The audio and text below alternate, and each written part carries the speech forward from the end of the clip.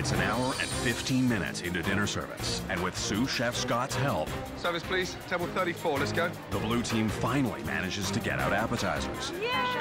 But the women have already moved on to entrees. Where's the chicken?